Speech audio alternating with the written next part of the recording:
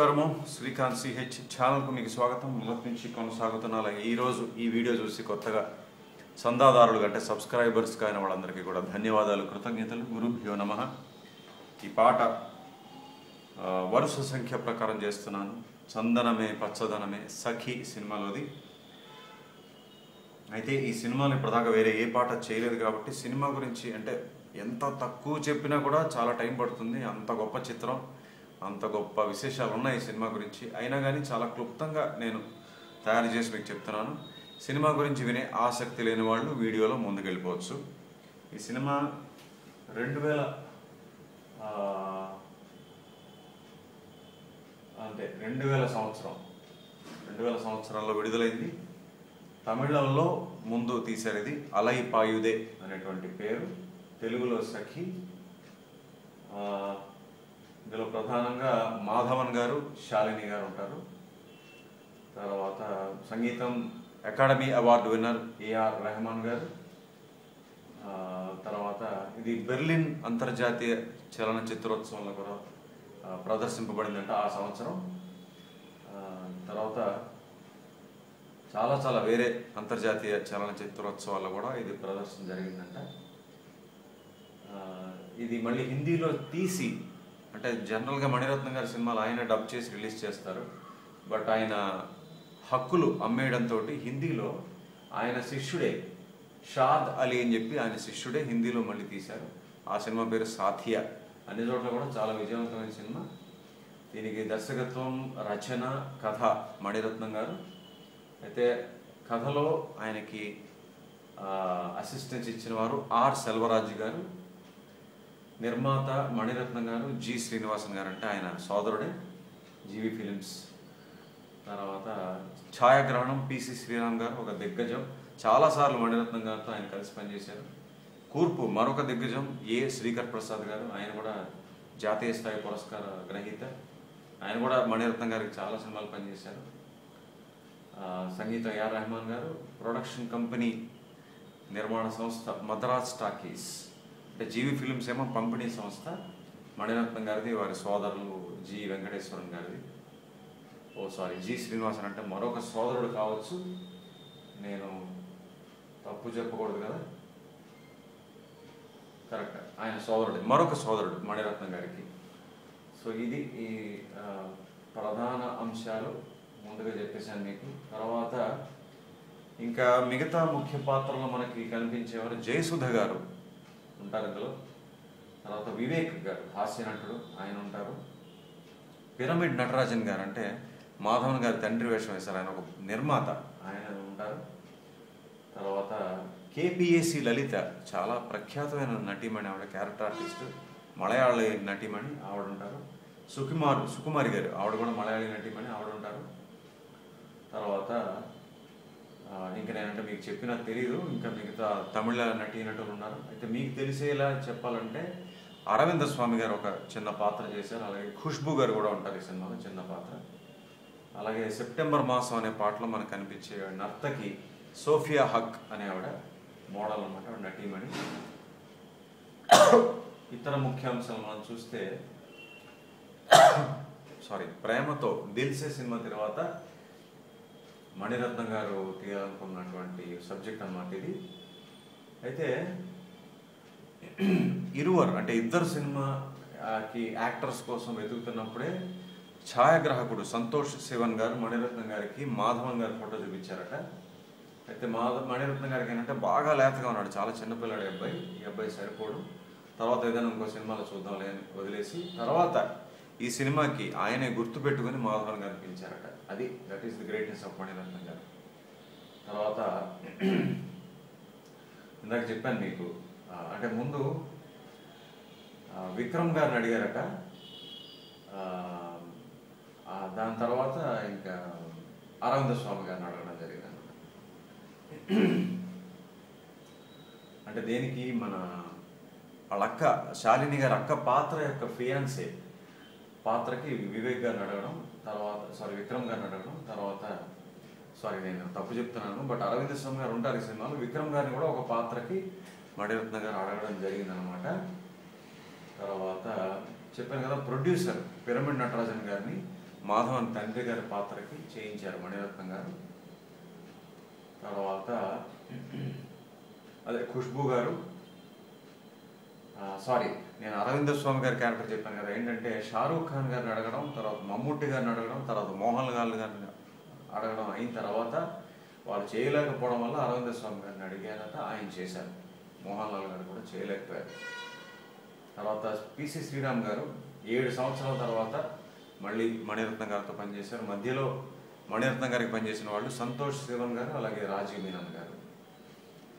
తర్వాత రెహమాన్ గారిని కేవలం బ్యాక్గ్రౌండ్ స్కోర్ చేస్తే చాలు నాకు సినిమా అని సినిమాకి అని చెప్పి మణిరత్న గారు అడిగారట.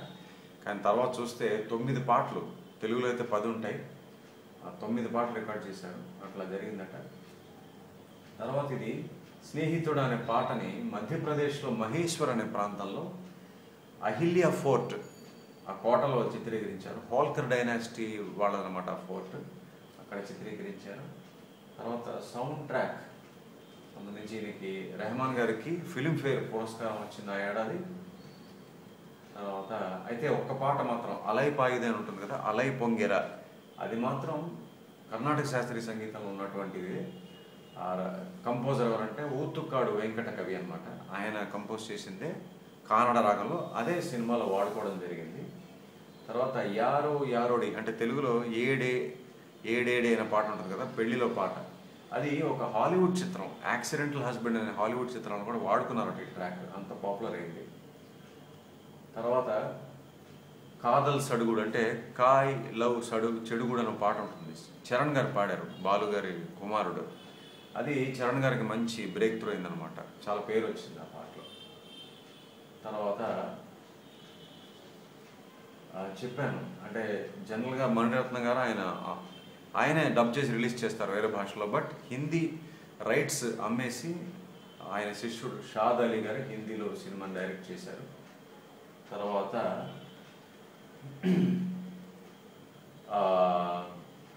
ఇదేంటంటే ఈ సినిమాలో పాటల టైటిల్స్ అంటే పాట ఫస్ట్ లైన్ని తమిళ చిత్ర రంగంలో సినిమా పేర్లుగా వాడుకున్నారు ఏకంగా ఆరు పాటలు అది మీకు చెప్తున్నాను.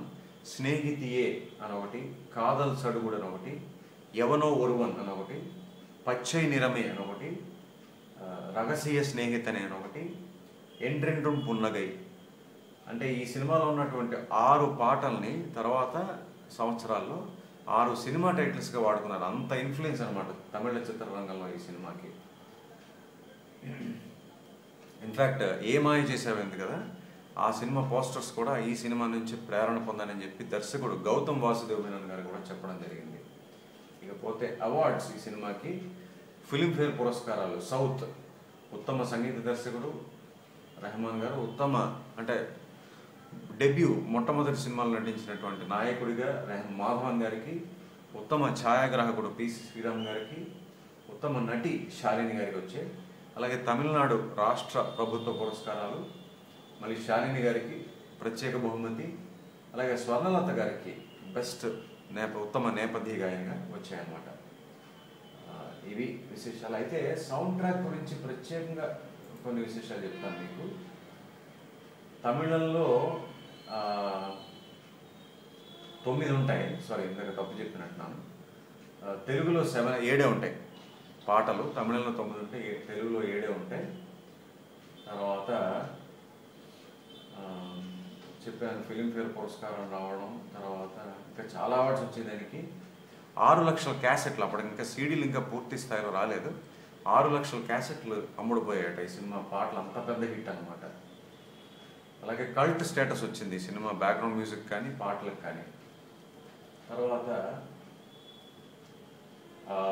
ఇంకా చెప్పాలంటే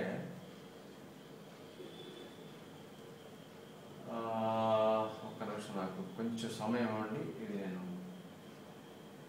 మా వాళ్ళు కలెక్ట్ చేసినటువంటి విషయాలు మీకు చెప్తున్నాను. తాజ్మహల్ తాజ్ మహల్ దగ్గర కాశ్మీర్లో ఇది చిత్రీకరించారు ఈ పాటే. చందనమే పచ్చని ఆ కలర్స్ నేను మీకు చెప్పగలిగే ఈ పాట చిత్రీకరణ.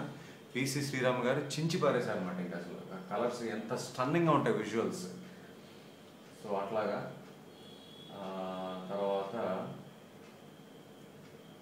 మన స్నేహితుడే పాటకి ఉస్తాద్ రషీద్ ఖాన్ గారు పాడారట వోకల్స్ కొన్ని చిన్న ఆలాపనలు. అలాగే ఒక బోనస్ ట్రాక్ కూడా ఇందులో రిలీజ్ చేశారట. అలై పాయుదే అది తెలుగులో ఉండదన్నమాట అది. తర్వాత సరే ఇందాక చెప్పేసాను ఒక హాలీవుడ్ చిత్రంలో కూడా వాడుకున్నారు ట్రాక్ ఏడే ఏడేడే అని చెప్పేసి. తర్వాత బాంబే జయశ్రీ గారు కూడా ఈ బ్యాక్గ్రౌండ్ స్కోర్లో ఒక రాగాలాపం చేశారట సింధు బైరు రాగంలో. అది ఒక సన్నివేశంలో వాడుకోవడం జరిగింది రెహమాన్ గారు. తర్వాత తమిళంలో పది తెలుగులో ఏడు ఇందాక చెప్పాను. సరే ఈ పాట పాడింది హరిహరన్ గారు. సరే తర్వాత చెప్తాను అవి. క్రెడిట్స్ ఎట్లా అంటే ఫ్లూట్ నవీన్ కుమార్ గారు చాలాసార్లు చెప్పాను నవీన్ గారు. గిటార్ కాబూలి గారు వాయించారు ఈ సినిమా పాటలో నాదస్వరం వాసు గారు బేస్ గిటార్ కేత్ పీటర్స్ గారు వీణ అంటే మోహన్ వీణ అని చెప్పి ఆయన విశ్వమోహన్ భట్ గారు. ఆయన దిగ్గజం శాస్త్రీయ సంగీతంలో. సారంగి ఉస్తాద్ సుల్తాన్ ఖాన్ గారు వాయించారన్నమాట. అలాగే స్ట్రింగ్స్ కండక్టెడ్ కండక్ట్ చేస్తారు కదా స్ట్రింగ్ సెక్షన్. చేసింది ఎవరంటే విజే శ్రీనివాసమూర్తి గారు. ఆయన రెహమాన్ గారికి అరేంజర్గా చాలా సంవత్సరాల నుంచి పనిచేస్తున్నారు. ఆయన ఎస్పీబీ గారికి చాలా క్లోజ్ ఫ్రెండ్ అలాగే నాకు కూడా ఆయన పరిచయం. అంటే నేను ఒక అదృష్టంగా చెప్పుకోవచ్చు. నాకు కూడా ఆయన పరిచయం అని చెప్పుకోవడం అనమాట సో ఇవి విశేషాలు ఇప్పుడు మనం పాటలో వెళ్ళిపోదాం.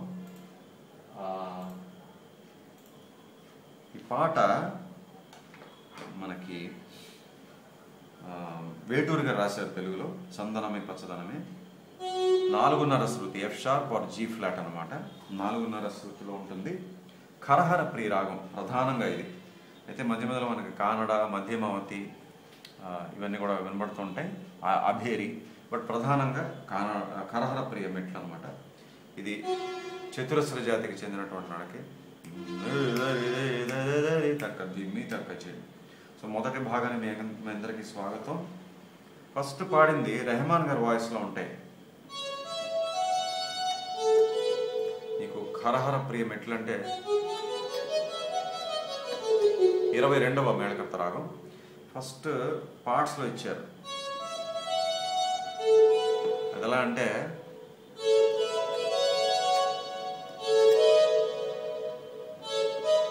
సారీ. పార్ట్స్ అంటే రెండు టూ పార్ట్స్ ఇచ్చారు. పని నిసా గమా ఇవి పార్ట్స్ చూపించాను కదా దీని తర్వాత మబమ మబమ మబమ అంటారు దీనికి పార్ట్స్ ఏంటంటే రెండు కలిపి వాయించండి.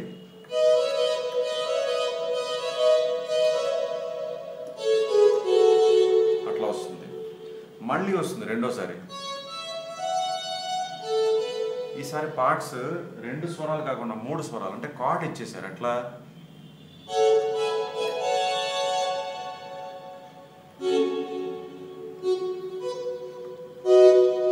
చూసారా? ఈ కార్డ్ అంటే F sharp minor E major మళ్ళీ ఎఫ్ షార్ప్ మైనర్ తర్వాత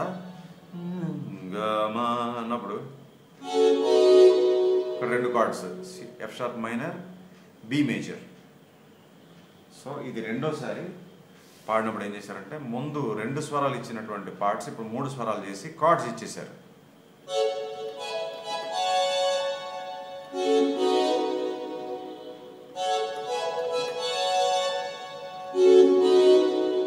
మళ్ళీ రెండోసారి కూడా అది.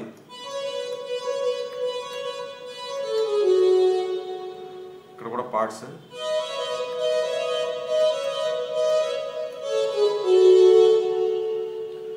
ఇదంతా అయిపోయాక అంటే ఇది అవుతుండగానే ఏం చేశారంటే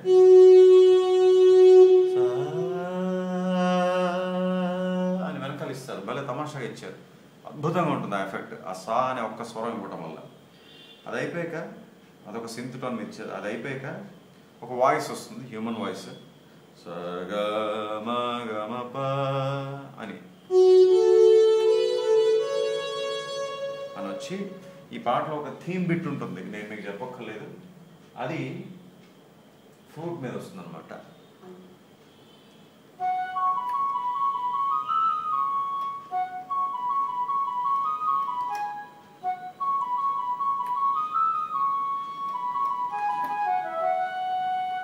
ఈ స్వరాలు ఏంటంటే పమ పమ పద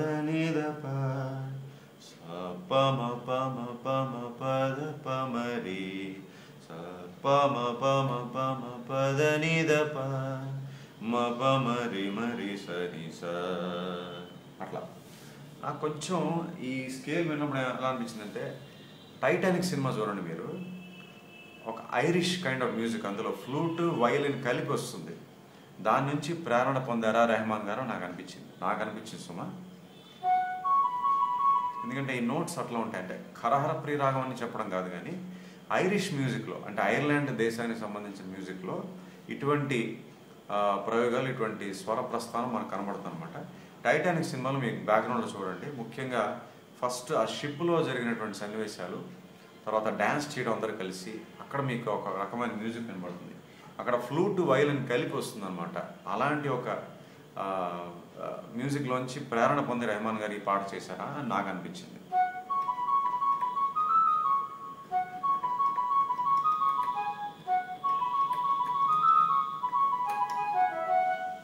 ఇట్లా వస్తుంది? ఈ ఫ్లూట్ మీద. అయితే ఇది అయిన తర్వాత గిటార్ హార్మోనిక్స్ అని ఉంటుంది ఒక మీకు.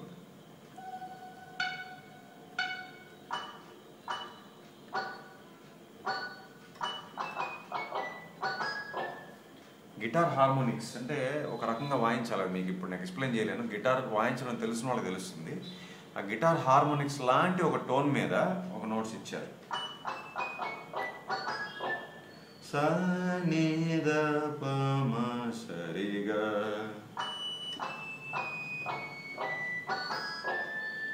వినపడుతుందా? అదనమాట. దీని తర్వాత ఇందాక చెప్పాను కదా నేను వయలిన్ మీద.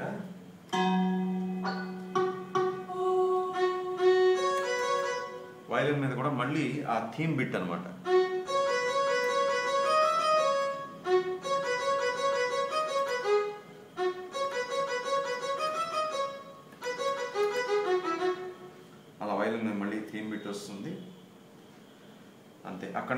మనకి పల్లవి హరిహరన్ గారు పాడటం మొదలు పెడతారు.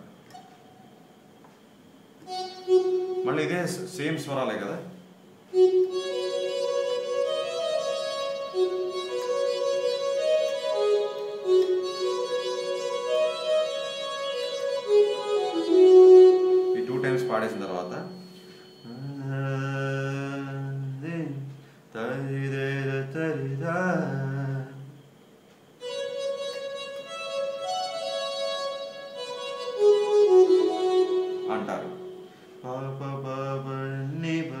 ని స ని ప మ ప మ రి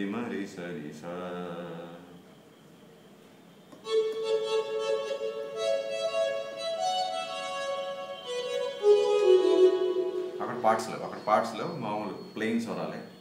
దీని తర్వాత మళ్ళీ ఆ థీమ్ బిట్ ఉంది కదా అది ఫ్లూట్ మీద.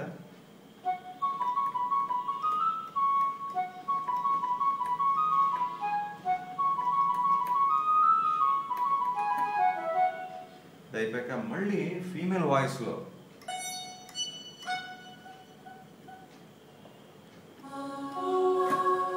ఫీమేల్ వాయిస్ సోలో వాయిస్లో ఇచ్చారు. మళ్ళీ ఇదే బిట్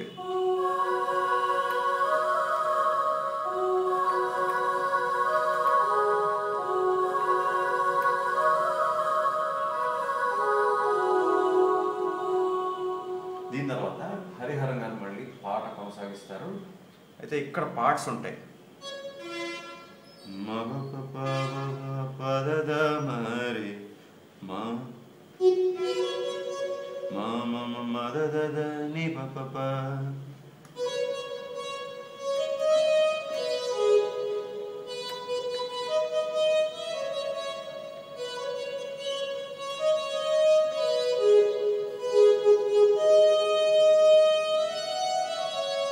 ఆహాహా భలే ఉంటుంది ఆ ప్లేస్ రి రి దా ని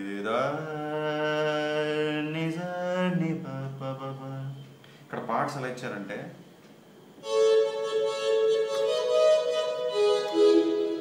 థర్డ్స్ అనమాట పాకి గా మాకి రి రీకి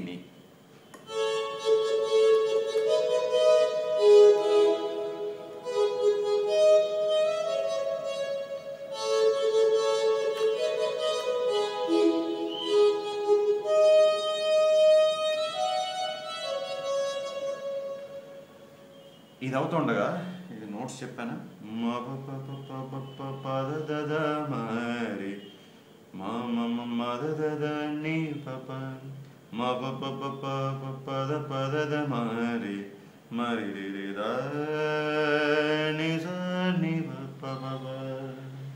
ఇది అయిన తర్వాత స్ట్రింగ్స్ మీద భలే బిట్ అనమాట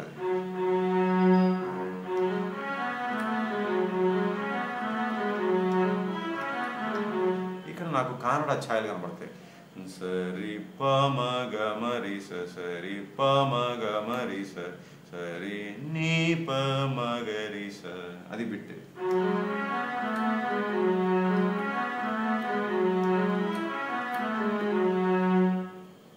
ఇది అయిపోయాక తర్వాత మళ్ళీ హరిహరన్ గారు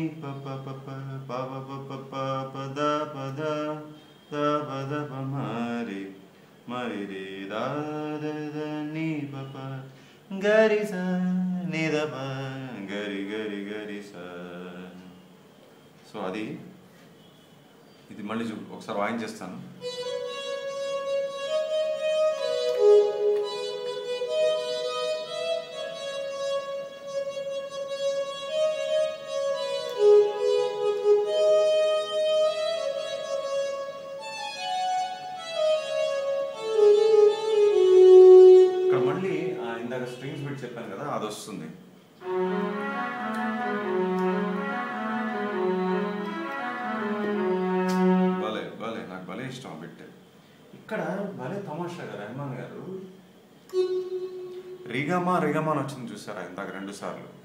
అదే రిగమా కానీ ఏం చేశారంటే ఘాట్ టూ యూజ్ చేశారు. భలే ఇంకా అది విశేష ప్రయోగం చెప్పాలి. అంటే ఈ రాగంలో ప్రయోగం అని కాదు ఖరహర ప్రియులు అయితే ఘాటు అసలు ఉండే ఛాన్సే లేదు.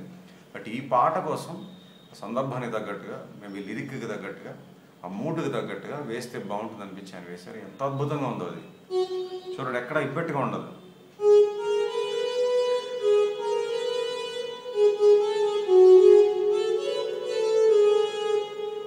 ఒక్క చోటే. మళ్ళీ రిగమ్ అన్నప్పుడు గావన్ వచ్చేస్తుంది.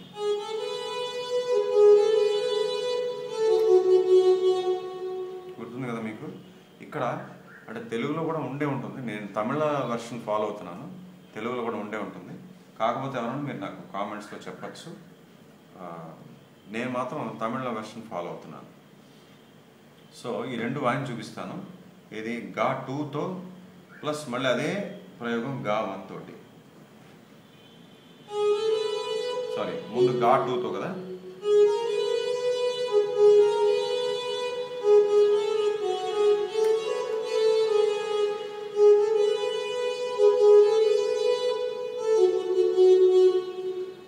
ರಿ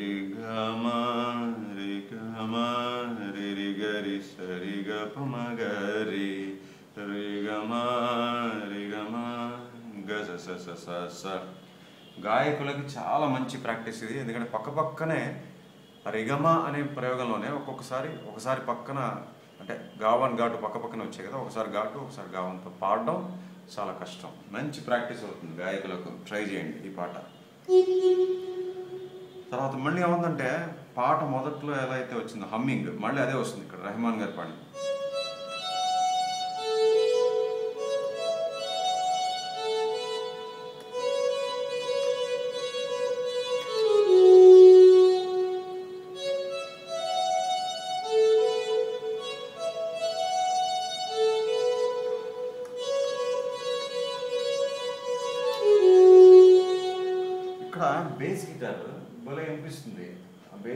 నోట్స్ ఇచ్చారనమాట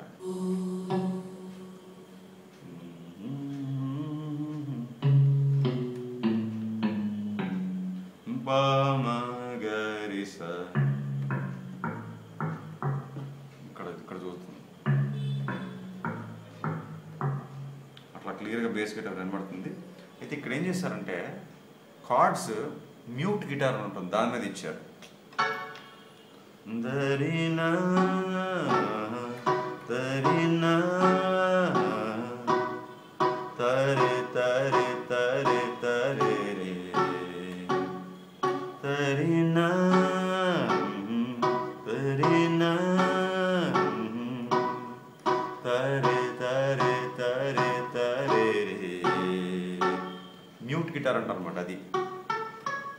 దాని మీద ఇచ్చారు కార్డ్స్.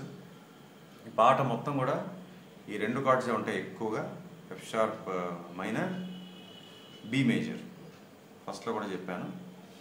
ఎప్పుడైనా వేరే కార్డ్స్ వస్తే చెప్తాను బట్ ఇప్పటిదాకా ప్రధానంగా ఈ రెండు కార్డ్సే. ఇప్పుడు ఇంకొక చరణం మొదలవుతుంది. మీకు తెలుసు కదా ఈ పాటలో ఒక్కొక్క రంగుకి ఒక్కొక్క చరణంలా ఉంటుంది. దని సా సరి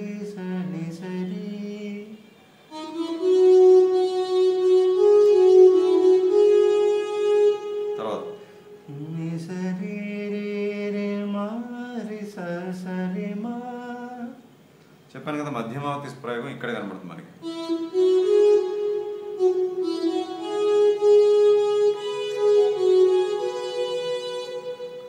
సో అది ఇవాళ ఇక్కడ ఆపేస్తున్నాను ఇంతకన్నా సమయం దొరకలేదు కూడా మళ్ళీ రెండో భాగంలో పూర్తి చేయడానికి ట్రై చేస్తాను కొనసాగిస్తాను అప్పుడు. ఇక్కడ ఒక విషయం చెప్పాలి మీకు. అది మరి అంటే నాకు నాకు వినిపించింది చెప్తున్నాను సుమా ఇక్కడ ఎవరిని తప్పు పట్టడం కాదు నా ఉద్దేశం. కాకపోతే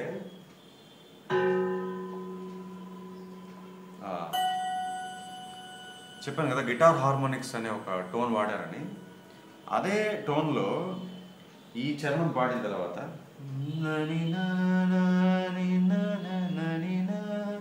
అన్నప్పుడు ఒక బిట్ వస్తుంది.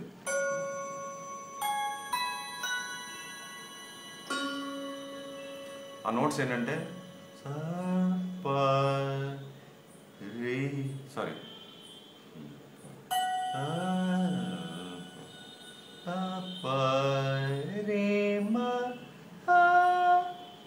ఈ నోట్స్ ఇచ్చారు. పా ఈ మధ్య కింద స్థాయిలో. మధ్య స్థాయిలో రీ మా సా. చూడండి. కాకపోతే నాకు వినపడింది ఏంటంటే అది సాంకేతిక లోపం ఉండొచ్చు లేకపోతే రికార్డింగ్లో జరిగిందా అయితే ప్లే చేయడంలో వచ్చిందా. నేను ఎవరిని ఇక్కడ విమర్శించట్లేదు బట్ వినిపించింది నాకైతే విచిత్రంగా అనిపించింది. ఈ రీమాస ఈ మూడు స్వరాలు అయిపోయిన తర్వాత మనకి ఈ మూడు వస్తాయి. ఇది మా టు దావన్ నీ టు. మీరు జాగ్రత్తగా వినండి గమనించండి మీకు కూడా తెలుస్తుంది. అసలు కరహర ప్రియ రాగంలో లేని అంటే ఆ మెట్లలో కనబడనివి మనకి మూడు స్వరాలు ఉంటాయి. మా టు దావన్ నీ టు. అది నేను ఒకసారి ప్లే చేసి ఆపేస్తున్నాను ఈ భాగాన్ని. మళ్ళీ కొనసాగిద్దాం రెండో భాగంలో. మీరు అది వినండి. ఇది ప్లే చేసి ఆపేస్తాను.